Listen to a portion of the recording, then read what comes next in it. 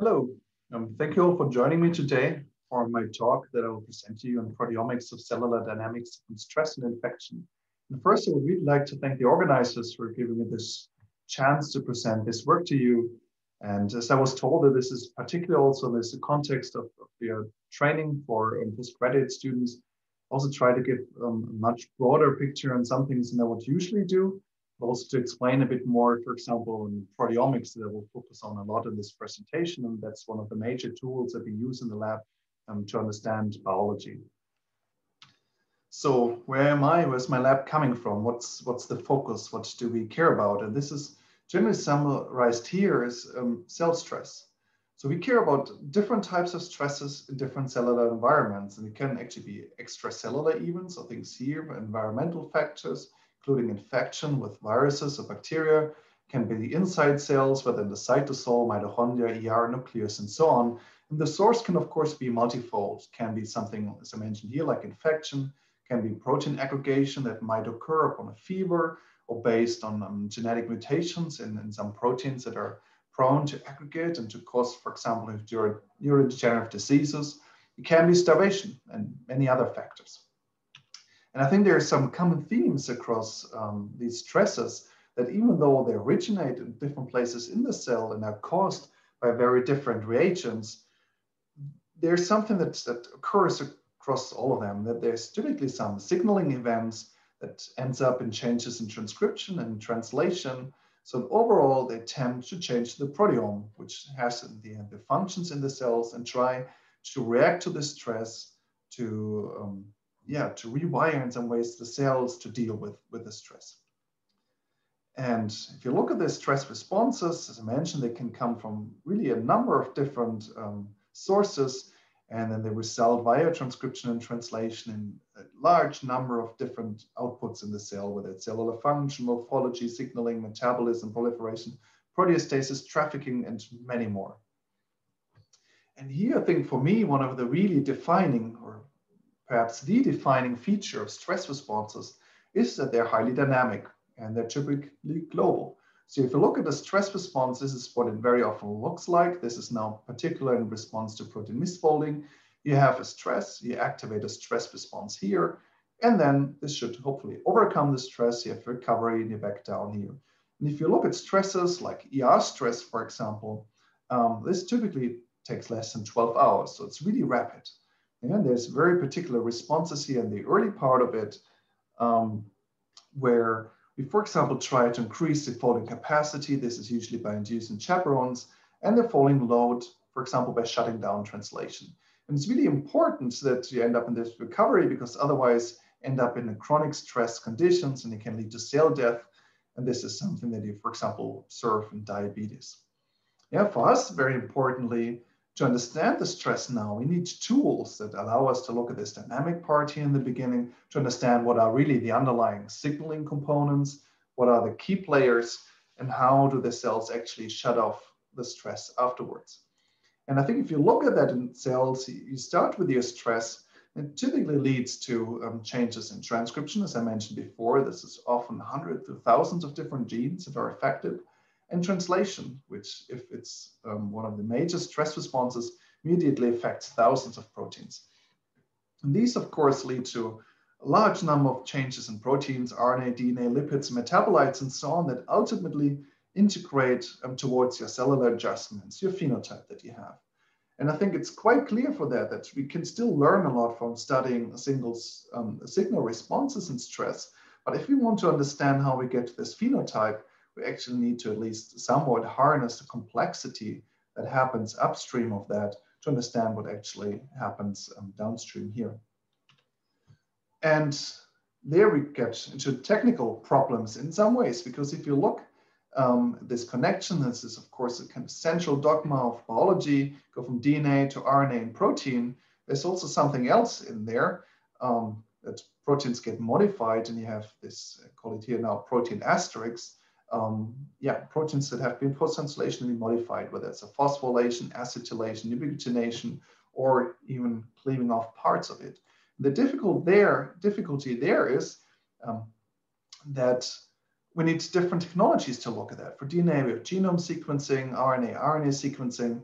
Um, from translation, traditionally ribosome sequencing, and here we have proteomics. And as I mentioned, this is what we focus on in our lab. The tricky part is, if you look at the genome, we have about 23,000 genes that need to be sequenced.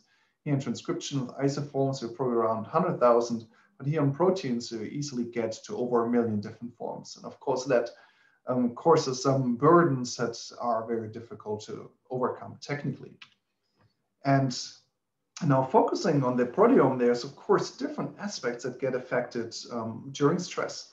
So if you think about, um, here's now with an example of protein misfolding, can do a lot of things. You can go um, change the proteome in the nucleus, can affect the ER, have ER stress responses there. So um, change in the proteome of specific environments, of specific organelles, also mitochondria, can change protein-protein interactions and complexes, can change stability of proteins, where we would need to look at half-lives, um, total protein levels, and again, this post-translational modification. So again, the output of the stress is really multifold and ideally you need to have some form of multi-omics, even if it's just proteomics. This is already a form of multi-omics to understand on different layers what's going on here. And now we come to um, more in context of stress and infection. So if you think about the processes that underlie um, infection uh, that we need to monitor, so if you have your viral particle here, of course, it needs to enter cells. It can theoretically already here interact um, with cell surface react receptors that could lead to some form of signaling already in the cells. And then, of course, once the virus is inside the cells, there's also a number of, of effects it can have in proteins. It can be the viral genome copies, or much more often um, the viral proteins themselves that interact with host factors, can activate signaling cascades, can change um, protein dynamics, for example, protein synthesis, protein degradation, and so on. And here there's a number of tools. This is um, just some of them, the most common ones, and proteomics that can help us to look at these different aspects. Here it can be interaction proteomics here and there, those viral proteins with host factors, and protein dynamics, which I will focus on a lot, and that actually required a lot of new method development to be able to look at protein translation and degradation by proteomics. And it's also for signaling cascades, for example, phosphoproteomics, where we can look at the phosphorylation state of thousands of proteins in a cell and how that changes upon stress, upon infection. So at first I will give, uh, take a little bit of a detour to tell you a bit more about um, proteomics and the types of proteomics we do. So what we do is something that's called bottom-up proteomics, and it's called bottom-up proteomics because of the way it's actually being done. So we start with, with um, cells, we extract proteins from them, we digest them into peptides, and it's these peptides that we monitor in the mass spectrometer, and that's where it's called um, bottom up because we start from here um, differently from top down where you actually look at intact proteins. What we do is we take this complex peptide mixture, separate it um, via chromatography, and then we shoot it in a mass spectrometer and we'll get back to that. There might actually be several steps of measurements in the mass spectrometer to identify those peptides and to quantify them. And the reason why we need those several steps is shown here. So if you imagine any given peptide. Um, for example, this sequence here, this is the exact mass that would be what we would measure in the machine. Problem is, it can also scramble this sequence here. So it's still the same amino acids. We have exactly the same mass, but it's a very different sequence. And of course, we need to know whether it's this sequence or that because this peptide might stem from protein A, while this protein comes from protein B. So it's important to actually know what peptide are we quantifying here to know um, how that relates to the, the relevant protein levels. And the way to gather this um, information is to actually do several measurements in the machine. First, we measure the whole peptide in what's called an MS1 scan, so the first scan, and then we fragment the sequence as shown here. We break the peptide bonds, and now you have the left-hand side of the molecule and the right-hand side. It's also called B and Y ions, and we shoot them separately. So it's shown here. This would be an MS1 scan. Now we have the intensities for the different peptides. And then you usually run a top 10 or top 20 method, which means you take the top 10 or top 20 most intense peaks, for example, this one, and then you do this fragmentation that I mentioned. You measure your B and, uh, B and Y ions, and now you know what the sequence was of your peptide and can use this information to now tell um, what was the quantity of the different peptides and from that relate back to um, changes in protein abundance. And so now we get to a full picture of what I showed you before. Um, we have this workflow here, and of course you need to quantify, and there's different methods. One is to essentially go label free. That's what I just showed you. You just shoot one sample after the other. You look at the intensities of this first peak, the peptide intensities, and you quantify from there.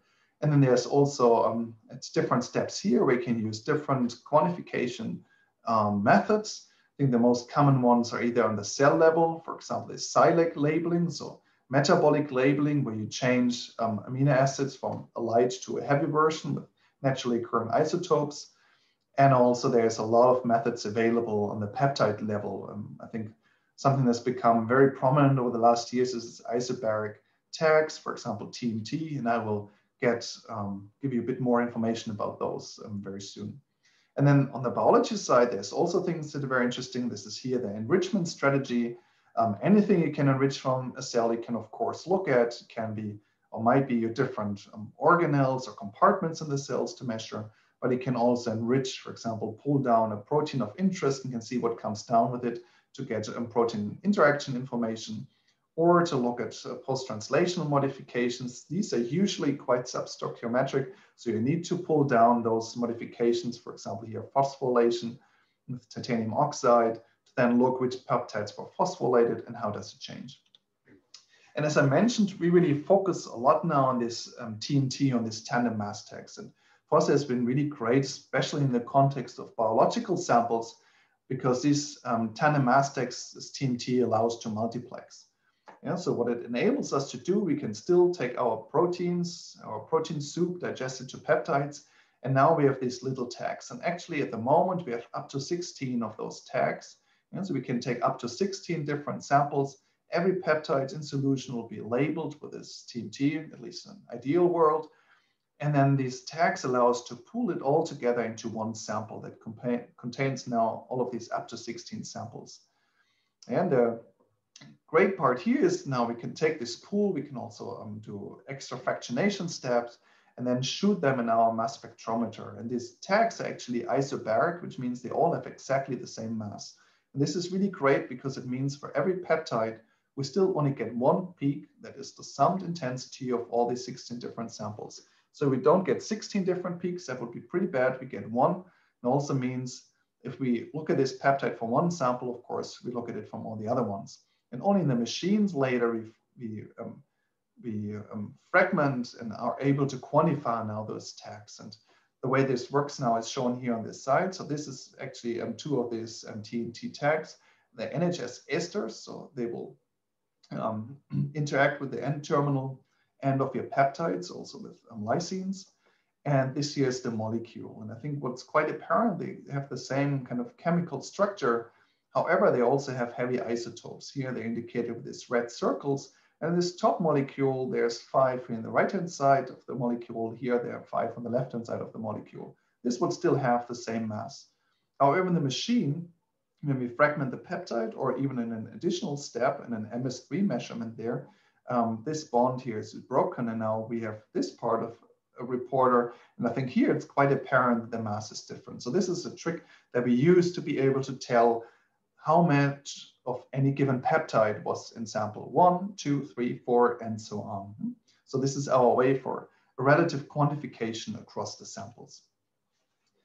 And for completeness, I mentioned this to you. So this is something that has been optimized a lot over the last 10 years. And there's really been, there were some problems with it in the beginning that I think hampered a little bit um, how this TMT was used. And one is shown here. So if you take a a yeast lysate with known ratios, so for example, 10 to 4 to 1 to 1 to 4 to 10, and now mix it with another lysate, in this case from a human cell line, what we observe is that we don't get this perfect 10 to 1 ratio anymore. Instead, there's some interference and we have a ratio compression. So it's not 10 to 1 anymore, it's only 3 to 1. So it's still the same, uh, the correct direction that things that are supposed to go up, go up.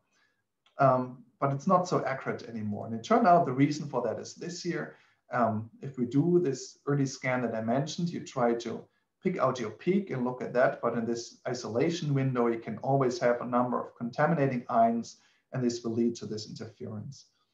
And then in work, um, in Steve Gygi's lab, um, it was a neighboring lab to where I did my postdoctoral work, they found out a way to overcome this. And this was to add a third measurement step in your TMT um, experiments. So we still do first an MS1 scan um, for the peptides, we do an MS2 to get the sequence of the peptide, and then we particularly here um, pick out these um, reporters to measure in an MS3. And with that, it's, it's good to see here, can see that the ratios here with the MS3 method actually very close back to what they were supposed to be um, if there's no interference. And I think this overcame a lot of these issues. And there was a whole new generation of machines that were brought on the market.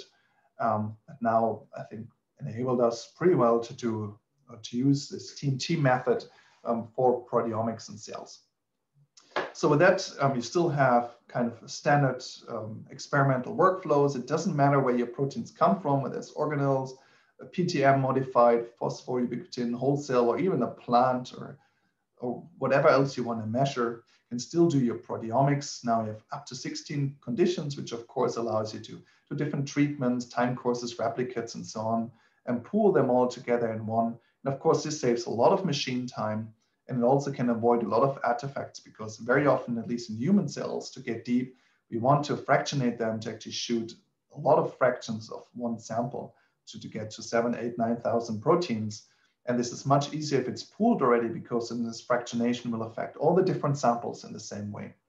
And of course, this can be combined with a lot of things you want. You can do kinetics measurements over time. You can look at whole cell proteomes. You can look at organelles here, it's mitochondria, or you can combine it even with IPs. And here's a number of papers from us the last years that kind of exemplify the different things you can do with that. So far as TMT is really great tool that um, can be used. And where we were is here, and I had this slide before, we were at this um, cell stress response, and we really tried to understand, um, yeah, what do these responses look like? How are they similar or different for different stresses? And we figured out, of course, something that's very highly dynamic, much more than the proteome that takes a long time to change. Translation is highly dynamic. And we wanted to understand how does translation change upon cellular stress.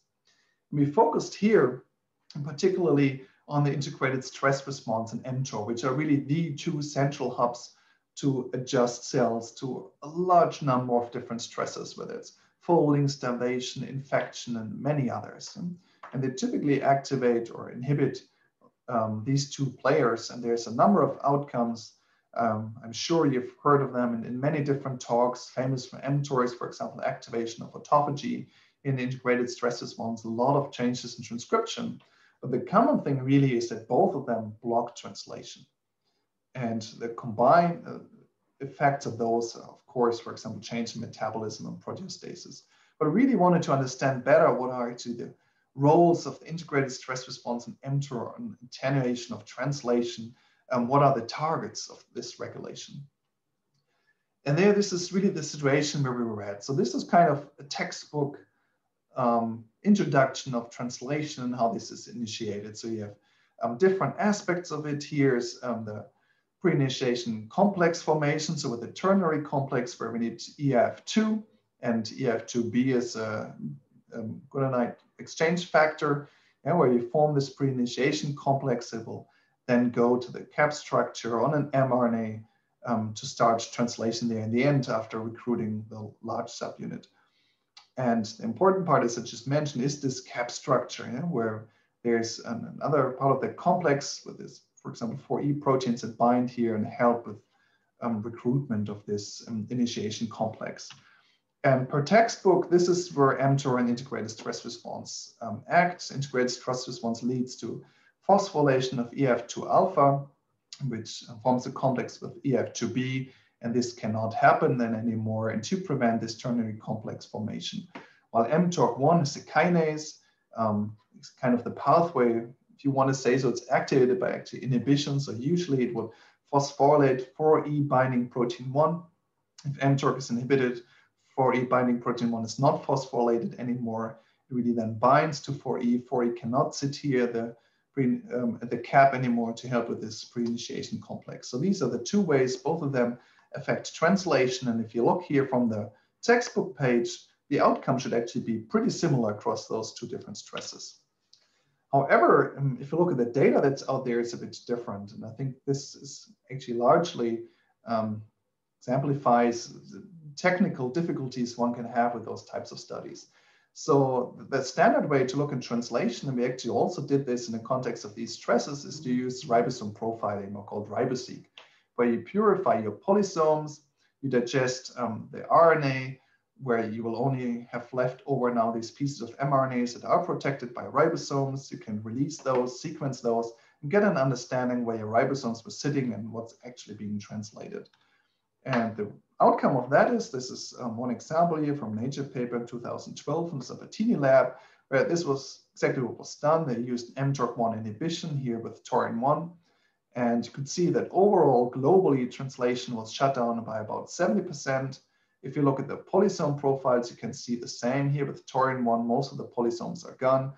And this is the result of the um, ribosome profiling. So they profile about 5,000 mRNAs. And as you can see here, it's normally distributed around zero. What that means, um, if you look at the global picture here, translation did not change. So this does not resemble those 70% um, change in translation that we saw over there. Based on this um, distribution, you can then still tell which mRNAs are affected. And here there was suggested about 250 mRNAs that were decreased and, and or the translation of which was decreased. And I think it's quite clear that there's some discrepancies in some ways between um, what's shown here and what's shown on the left-hand side. And this is something that's actually well known. It has nothing to do that the authors did, did any mistake here or something went wrong. It's just technical limitation. That was described so here, for example, this paper by um, Ingolia together with Jonathan Weissman really made this ribosome profiling big. And it's quite clear that there's a normalization artifact that can actually happen in all next generation sequencing um, approaches, but ribosome profiling is, is, particularly sensitive to that. And that is in situations where we observe global unidirectional changes in expression, such as treatments that cause a global decrease in translation, as we observe here, these assumptions lead to inaccurate quantification. And the assumptions are that the input is comparable. So what happens here is you purify those polysomes and those, you put the same amount in more or less, you do PCR steps, and it normalizes away these effects and it ends up with this perfect distribution around zero that we see here. And this has caused some problems because as you saw, there's not much changing. And the same is true if you look at the integrated stress response and has led the field to really believe um, that mTORC in the integrated stress response are separate and independent pathways. However, that doesn't match with um, the biological findings, for example, here described in the tumor, micro tumor microenvironment, where it's pretty clear that the phenotype, the outcome of those pathways is actually quite comparable. So there we were really stuck. And as I mentioned, we wanted to understand what is actually changing. Um, how is translation affected by these different pathways to understand what is the role of translation in stress. And we thought that it's got to be a way to overcome this issue using proteomics. And of course, there is this, this method that has been used for many years by a lot of labs and people around the world. And the idea is there, you have your cells in culture at time point zero, they're cultured to the absolute normal way as you always do with the regular DMEM or whatever medium you use.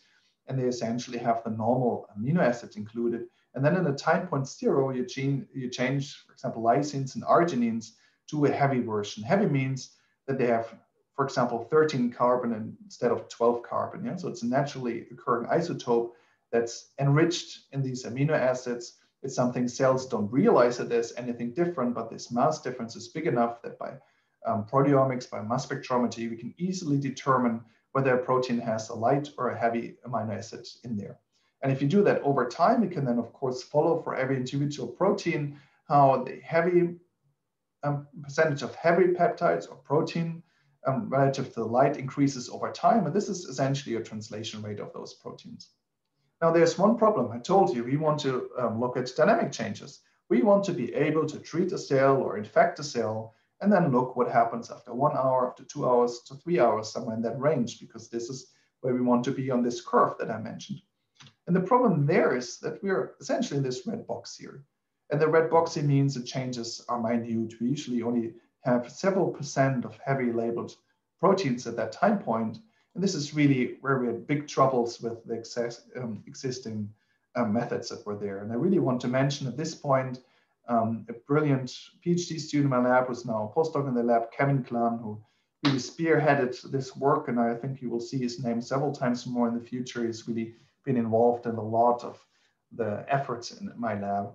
And what we tried here first is just to look how well do this um, typical ways of monitoring this year. how do they work? So we artificially mixed together um, samples, lysates from cells um, that have between 0.1% and 10% heavy label. Yeah, so to kind of simulate this this um, this situation here and look how well we can measure it. And I think it's quite clear from here. We know what the percentage should be because that's how we mixed it, and this is what we measured.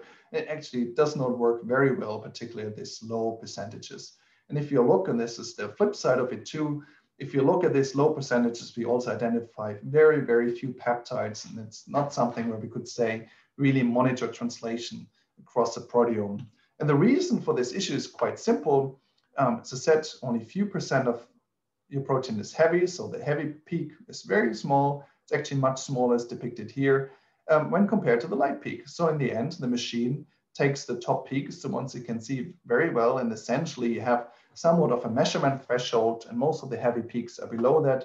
This will be not selected in the machine, it will not be measured, and will not be getting any quantitative information on that. And what we thought should be possible um, is to overcome this issue is to use a trick in combining this, what's called pulse SILAC labeling that we do here with this TMT that I mentioned earlier, because that allows one, we thought, great trick. As I mentioned, TMT is isobaric, yeah, so all the samples here, we can up to have up to 16 samples, they all have exactly the same mass. And that allows us to take one of the channels and to use now a lysate that is 100% heavy labeled. Yeah? And that alone is enough to push us above this measurement threshold. And then we will be able to select this peak. And then from this peak using TMT, we can then still tell how much um, was in every individual sample. What is the translation in here compared to this boost channel? And this is what we described in, in this paper here in a method that we termed um, mePROD for multiplexed enhanced protein dynamics and proteomics. And it works quite well. This is shown here as a workflow just as before. We have the same percentages again as before. We now have a boost channel 100% heavy and also a noise channel that we use from, um, to determine the, the background that is 0% labeled, can pull them together, shoot them, and this is what we get out of that. And I think it's quite apparent here that even at very low um, heavy ratios, um, we do still get a very accurate quantification. This is a comparison from the SILAC I showed you just before. Now, our mePROD data here in orange, the mePROD gives a very accurate quantification, while with the SILAC we couldn't. And we have very little variance in this method. You can hardly see here in one sample this bit um, of the variance there.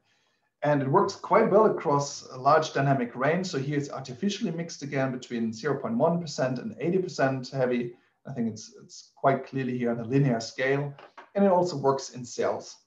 Yeah, so if you look in HeLa cells labeled between 15 minutes, 30, 16, 120, um, it's quite robust, it's, it's, linear, the replicates are tight. So we were at a point here we could use this method um, quite robustly also in cells. And just because I mentioned this before, that this can be this issue with ratio compression, with TMT, it turns out because of um, us also having this noise channel for which we can determine what is the background we measure. We actually don't need to measure an MS3. Of course, this is an extra measurement step in the machine that costs some time and we lose some sample in the end. Yeah, but here MS2 performed just as well as MS3, so we had no need to shoot with an MS3 method. And then we applied this method looking at the cellular stresses that I mentioned, we inhibited mTORC1 or, or activated the integrated stress response by leading to a phosphorylation of eIF2 alpha, and then looked at the translation outcome. So here is very similar to the ribosome profiling data I showed you before. We, we again here also used Torin1, and I think it's quite clear on a global scale, we can see this, this really huge reduction in global translation rates, but now for the first time, we were able for thousands of proteins to look which protein specifically had a decrease in translation after inhibiting mTOR. And mind you, this is a log two scale, so a minus five, this is a lot already. Yeah? We're talking about changes in the range of 10 to 100 to even a thousand fold uh, decrease in translation. And then we also looked at the integrated stress response using Thapsigargin to um, activate PERK as a eIF2 alpha kinase. And there too, we globally see this reduction in translation and we could monitor on an individual protein level what that meant um, for translation. And I will not take this story here much further. We compared the profiles and become very quickly quite apparent that there's actually uh, a vast overlap in the targets of those two different pathways. I think it's large now because we really could see most of the proteome, um, what's happening there. And what it turned out, and this is summarized here, um, mTORC and integrated stress response actually largely inhibit the same set of targets, the same set of, of um, mRNAs. So it's not um, a, a pathway specific regulation here of mRNAs, but instead, and I will not talk about that, there's intrinsic factors in the mRNA that define how sensitive they are to um, decrease in global translation levels. Yeah? So what we observed here is something like this. If we look at global translation, yeah, even very mild stresses that affect global translation, there's a set of mRNAs that very quickly um, stop being translated upon this mild stresses, while some come later and later. And actually, there's a set of largely housekeeping genes that were not affected by at least um, somewhat physiological context, like for example, um, mTORC inhibition of or integrated stress response activation. They always remained up here. The only way to reduce those would be using something like cyclohexamide, which really blocks um, translation altogether. So with that, we were at this point, we had this method, I mentioned this, MeProt, where we were able to look at um, the nascent chain, translation on the nascent chain level by using this pulsed Cylic labeling. And we had this booster signal that allowed us to detect this, the signal and be able to quantify it. So what we had is a highly acute transloctome measurement based on the nascent chains. Um, we had none of this normalization bias that I mentioned before. It's pretty standard um, proteomics workflow in general. So we need very few cells. We can do that with much less 100,000. It also makes it quite cheap, especially when compared to um, doing ribosome profiling. Can do quite a good throughput. Uh, you can do dozens of samples at a time and we could have full proteome coverage. And I will just mention this here quickly because I think it's one of the examples we can see um, how you can take this further um, with learning about your system. Um, we rapidly also improved this method um, in a simple way that, that made huge differences. Mentioned to you, this is what your, your scans look like. Yeah? You have all those peaks and course, if you do this pulse cyclic labeling, we ideally have a light and a heavy peak. And this is our pair, the old protein, the new protein. And we only care about those pairs. We don't care about this, this gray peaks that are here in between. But if you usually run this, this experiment with the data-dependent acquisition, we'll measure all those peaks. So we'll waste a lot of time on, on these gray ones. And it turned out there's, um, there's tools of using instrument logic within the mass spectrometer to, when it does this uh, first scan, determine those pairs up front and then only select those pairs for the MS2 measurement, which saves a lot of time. And as it turned out, um, we call this um, a TMD method, uh, for targeted mass difference. It turns out both on the MS2 and MS3 levels, it can about triple the number of identified heavy peptides. So with that, we were quite set up to use it in different um, contexts. And one that we tried out is bacterial infection. And I think it really shows the strength of looking at translation instead of just proteome. So we had cells, and that was in collaboration with the Dickich lab here in Frankfurt. We had cells that were infected with um, salmonella. And then after one and four hours, we looked at the proteome and the translatome. This here is the proteome. And you see a lot of changes. However, all these red circles, these are all the bacterial proteins. These significantly changed you look at the host cell, I think it's quite clear nothing changed. Yeah, so these early time points, for measuring dynamics, um, proteome measurements actually quite bad. However, it looks very different now looking at the translatome. This is the same one hour time point, but looking at the translatome, I think it's quite clear a lot of things change. So it gives us much more power now to look at a much more time resolved way how things change over time. You know, for example, from control to one hour to four hours, and then to determine what's going on in those cells. And this is something that we used back then um, to try and understand really what are the cell stress responses to different forms of, of infection. I just mentioned the bacteria, but it also came at the time we started a number of collaborations and looking at viral infection. And we wanted to focus on this translation aspect. And I think our efforts got quite derailed in some ways, but course, strengthened in another way by the outbreak of SARS-CoV-2. Yeah, so I'm located in Frankfurt in Germany. It's the biggest airport in Germany, one of the biggest in Europe. And typically when there's a disease breaking out somewhere in the world, it often ends up quite quickly in Frankfurt. And it's because of the airport. And the same happened here. So on February 1st of last year, there was an evacuation flight from Wuhan. It brought people from Wuhan to Frankfurt. And two of those people were actually infected. And then something started was really with a beautiful um, collaboration with the virology department here in Frankfurt to study that. And really our starting point is where we thought is, at that point, um, this was the situation. Of course, it was clear COVID-19 is happening and there were already a lot of compounds suggested and getting started to be used in the clinics. And it turned out where these compounds came from were these two pathways. One is essentially used in literature, and I call it in zero rebrum. So people thought about what they know about other viruses and thought, let's try out some of those compounds now in COVID-19 patients, or using the same types of literature and using in silico approaches getting here. What we thought we should, uh, what would be great to have is some actual data to, to understand what does the infection do to cells, can we from that identify what are the important pathways in cells that might be required for viral replication and from that to identify our potential targets. You know, so we wanted to set up a cell infection system and then use many proteomics to do systems biology approaches to identify our targets. So we'll go back to, to this scheme that I had earlier about what proteomics can do, and I will now go through the different stages, kind of how we went through it from protein dynamics, interaction proteomics, and phosphoproteomics. So we'll start here on this side, and this is really how we started. There was this collaboration, as I mentioned, with Denisa Vojkova and Jindřich Cynadl, and they mentioned with, uh, managed within days to set up a cellular infection system for SARS-CoV-2. So they infected here CACO2 cells with um, SARS-CoV-2 and see a quite clear cytopathic effect here. So cells were infected and as measured by um, quantitative PCR, they were also producing virus in the supernatant. So we have the system now where we could look at what are the host cell responses to SARS-CoV-2 infection. So I mentioned we use these CACO2 cells um, infected with this patient isolates, and then we use this MEPROT method that I mentioned. We looked at um, translation and the proteome after 2, 6, 10, and 24 hours. And then we used this multiplexing, this common MEPROT fractionation, and shot that on the mass spectrometer, and then looked at the host cell responses.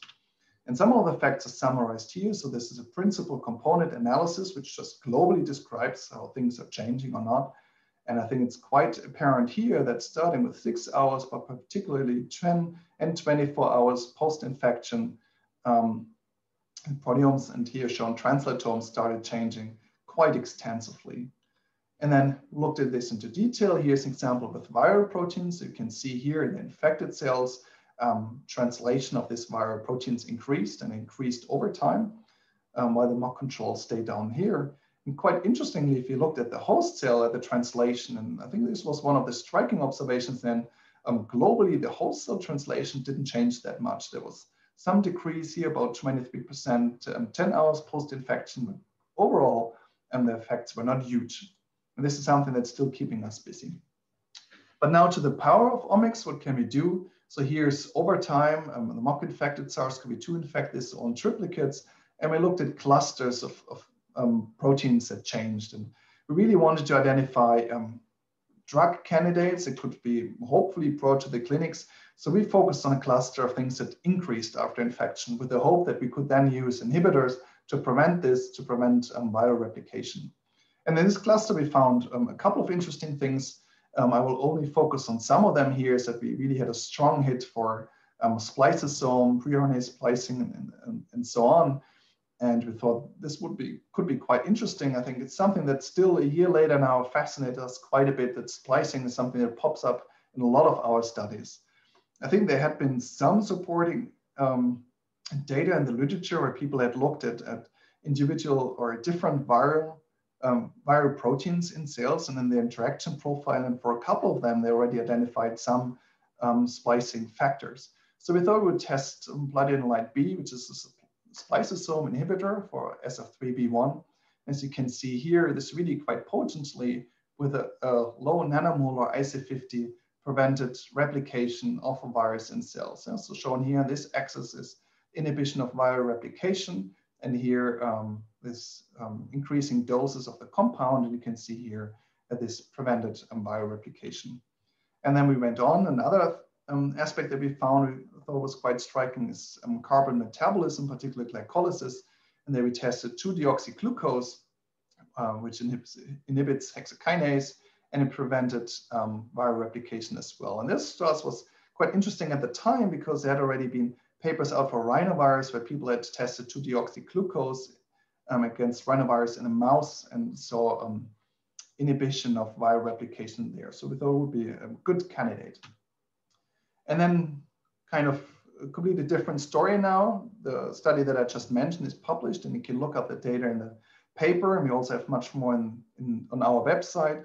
Now a comparison to an unpublished study. This is here in, in primary cells. So this is really from a patient. It's a surplus material from a surgery where we looked in the kidney, in proximal and distal tubule cells, infected those with SARS-CoV-2 and MERS-CoV, and then also looked at proteome and translatome levels over time. This is total of 72 samples in six multiplexes. It was quite a massive experiment. And I will summarize it up somewhat into the interesting parts here for SARS-CoV-2. If you look at the translatome, um, I think you appreciate that this was a different picture from what I just shown in the CACO2 cells and the distal and the DTCs. Um, it's actually similar. There's not a huge global effect on translation, but in the proximal tubular cells, um, here it was a massive reduction in, in translation. So I think what that makes very clear is that it's really cell type and tissue specific. Um, what are the effects of the viral infection on translation? And if you look on the proteome side, it's, it's a bit different here. We have really a massive increase at this late time points in, in a large number of proteins. And here too, I'll just summarize it there. We looked at um, viral target and drug interaction networks to identify drug targets that that could play a role. And we identified a number of, of clusters here. Um, I will just now go to the interaction proteomics and I will mention it in one slide because we haven't contributed anything here to SARS-CoV-2. Uh, but it is, of course, a very important and, and, and, informative way to get some information. This is an example here. This is now from this paper from the Pischelmayer lab, but there were, for example, also these two really great papers from um, the Krogan lab where they expressed um, viral proteins, often in HEK cells, or so it's overexpressing those. And then you look in pull downs, what they interact with, and then can identify what are the interactors, are there common targets also across, you know, as was done here, viral or you know, similar viral proteins from SARS-CoV-2 versus SARS-CoV or, or HCoV, and then try and identify important clusters here. Uh, we don't do that much of that, particularly um, because I mentioned you, for us it's so important to understand the dynamics. And of course, getting this in a time resolved manner is quite difficult by IP. I want to mention though, and this is something we, we use quite extensively now, there's this proximity labeling approaches where you can have a bait and it gets tagged with, uh, for example, biotin ligase, and with biotin light um, everything in close proximity, for example, the interactors. And this can be done in 10 minutes. So this is something that is highly time resolved and you can look over time how interactions change. And there's actually now a number of papers on um, SARS-CoV-2 where this has been done and it's in bioRxives. I'm sure that will come out soon. Now, just move to the last part of this signaling components looking at phosphoproteomics.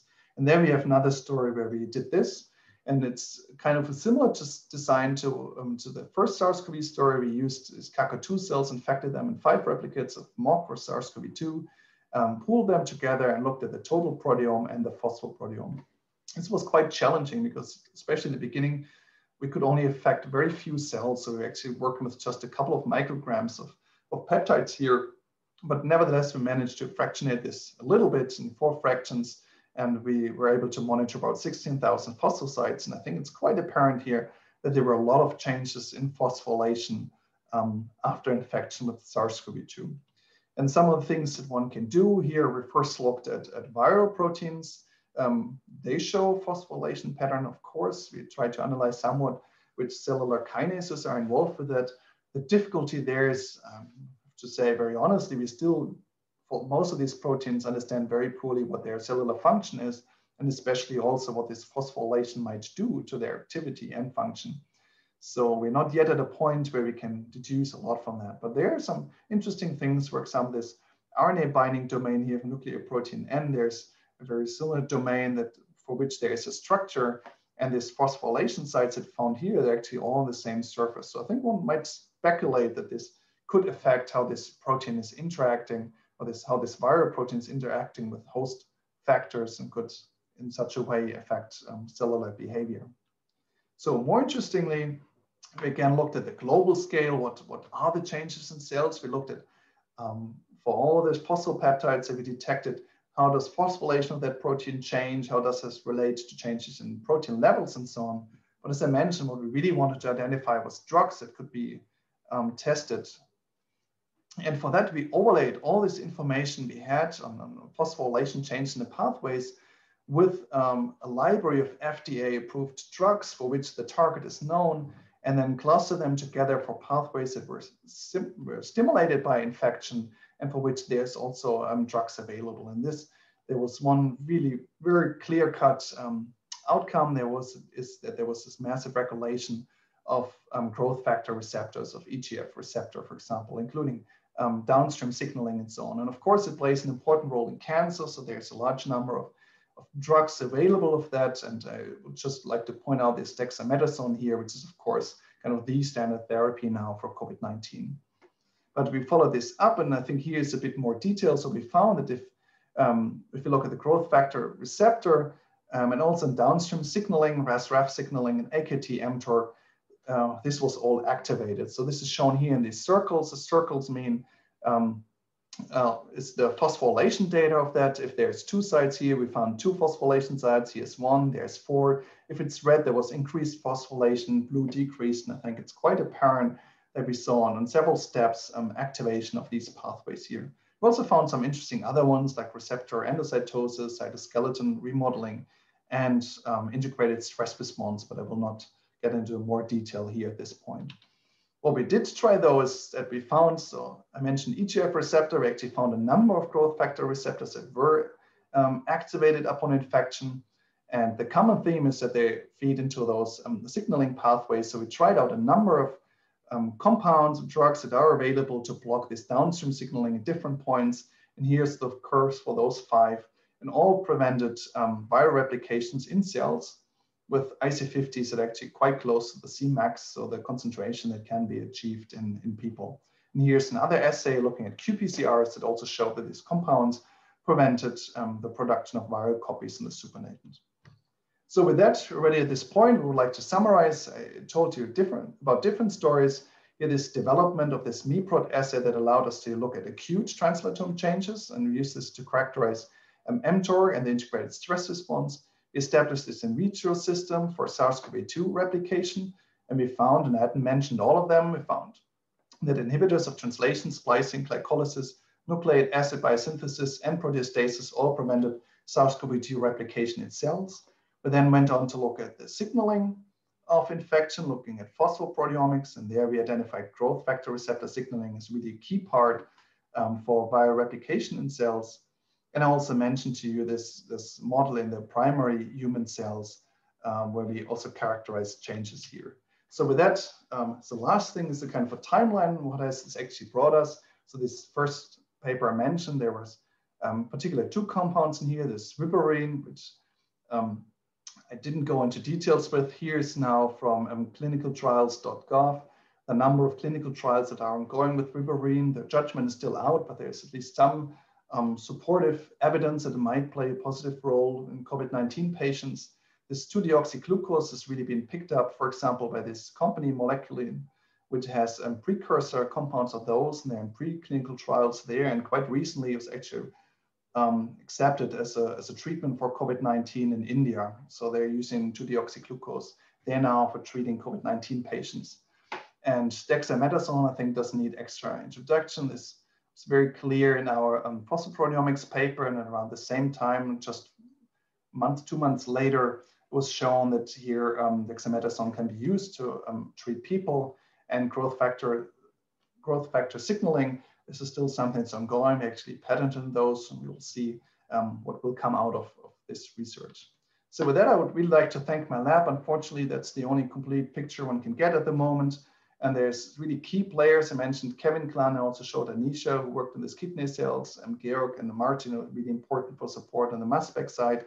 Also want to mention really our great collaborators on the virology side, from Jindrich Denisa, Benjamin Koch, Sandra Zizek, and Patrick Bales in Frankfurt, who has this um, kidney models.